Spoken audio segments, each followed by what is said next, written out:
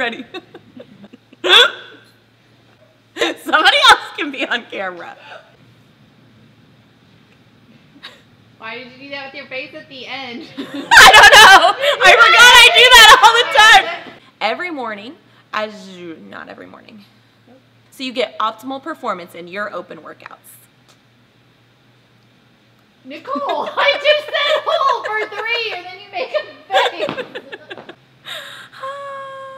Blah. Booyah. All right. Just for you to be able to freely complete over the weekend. You can crop that in if that looks good.